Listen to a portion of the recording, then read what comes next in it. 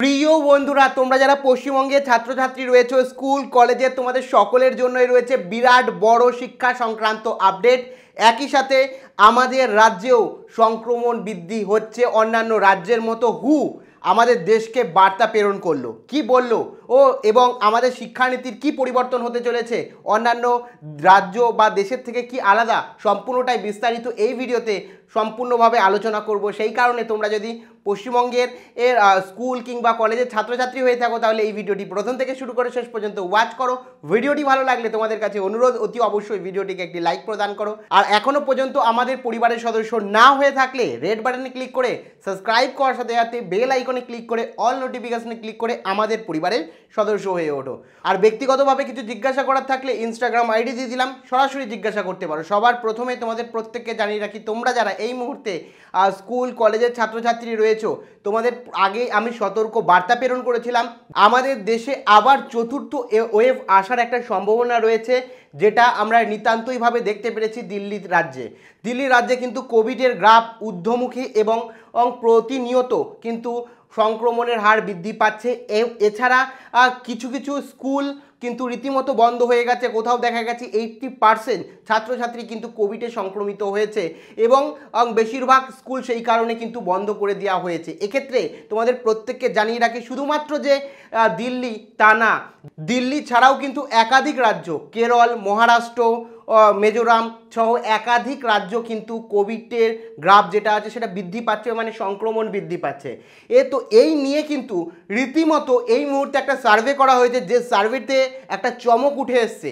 মাত্র পনেরো দিনে কিন্তু কোভিডের যে সংক্রমণ সেটা কিন্তু পাঁচ গুণ হয়ে গেছে এবং হুয়ের তরফ থেকেও কিন্তু বার্তা প্রেরণ করা হয়েছে। এই মুহূর্তে এ দিল্লিতে কিন্তু সংক্রমণ অত্যাধিক পরিমাণে বাড়ছে।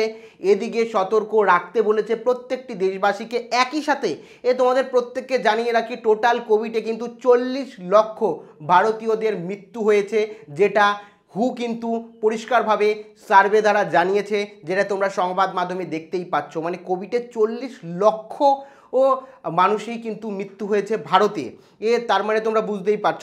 একই সাথে তোমাদের জানিয়ে রাখি, আমাদের পশ্চিমবঙ্গ রাজ্যেও কিন্তু কোভিডের গ্রাফ অত্যাধিক বৃদ্ধি না হলেও সামান্য পরিমাণে কিন্তু বৃদ্ধি ঘটেছে, যেটা আজকে, আজকাল সংবাদ মাধ্যমে কিন্তু উঠে এসছে। কাজেই তোমাদের প্রত্যেককে বলব, হু যে বার্তা প্রেরণ করছে সেই অনুযায়ী এবং দিল্লিতে যে ঘটছে বা অন্যান্য রাজ্যে যে বিষয়টা ঘটছে সেই দিকে মাথায় রেখে আমরা প্রত্যেকেই চাই যাতে শিক্ষা প্রতিষ্ঠান আবার পুনরায় বন্ধ না হয়ে যায়। আমরা যেরকমভাবে অফলাইনে ক্লাস করছি, সেই রকমভাবেই যাতে প্রতিনিয়ত স্বাভাবিকভাবে অফলাইনে ক্লাস করতে পারি।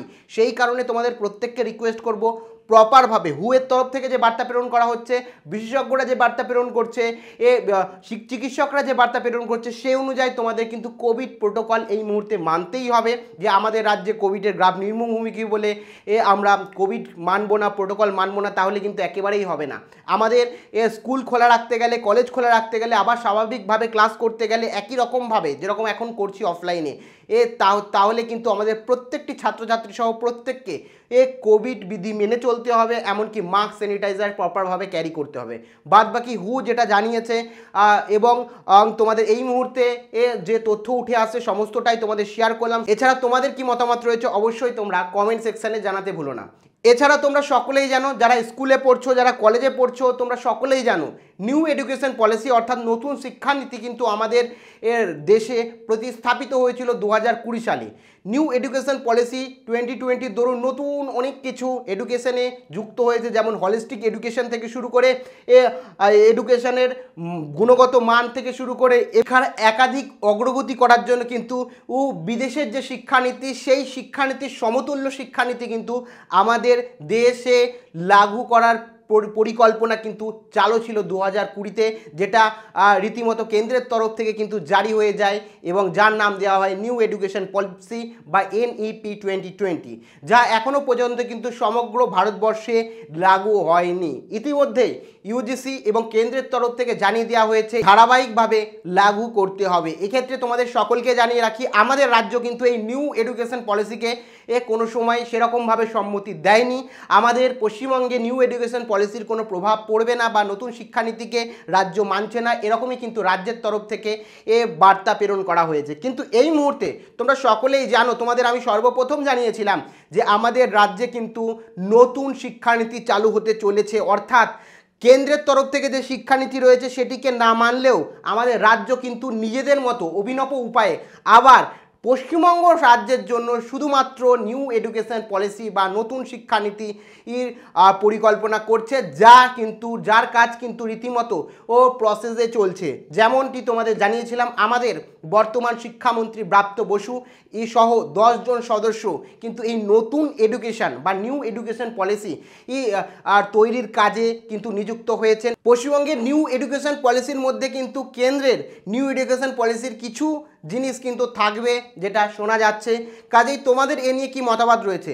পুরো ভারতবর্ষ একটা শিক্ষানীতি থাকবে এবং আমাদের পশ্চিমবঙ্গের জন্য আলাদা নিজস্ব এক শিক্ষানীতি থাকবে।